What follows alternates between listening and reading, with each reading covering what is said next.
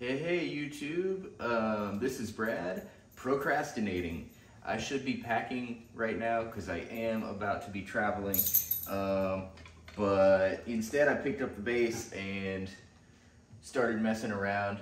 And I kind of noticed something or found something that I think is going to help me and maybe some of y'all um, find scale shapes a little easier um, or like find continuations of scale shapes a little easier. So what I was doing is playing through an A minor scale. Um, so like, actually I was playing A minor pentatonic. I was, was not even a whole A minor scale, but um, I expanded it to the whole thing. So anyway, um, I was going through just like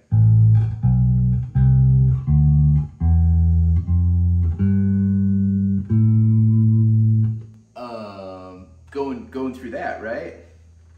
And I started doing octaves. So like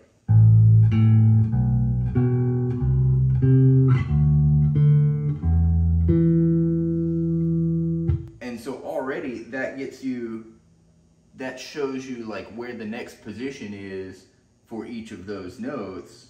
And yeah, we'll just skip these because they don't have the nice over, you know, two down two over um, kind of progression, but like even still, you know, within these four strings, you've got that shape.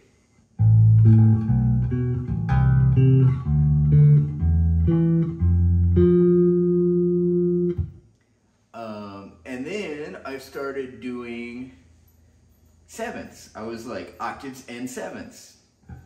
Uh,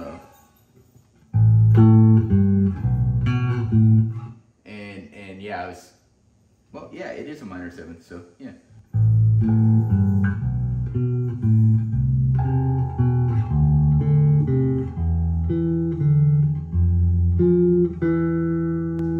And so on and so forth. And so I was like, wow, okay, cool. That's actually, you could make something musical off of just that scale shape. And, you know, people have been talking about, like, there's tens of thousands of YouTube videos talking about like, learn this scale, then you can play melodically. It's, okay, that's true. If you already have good musical instincts.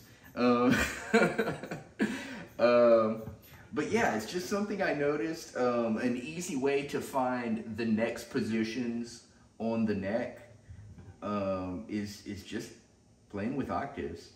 Uh, so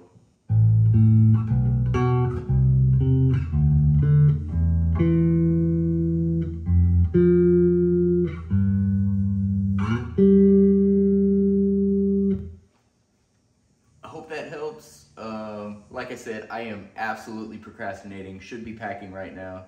Should not have a bass in my hand. Um, I'm going to get going. Happy Thanksgiving again. See y'all later.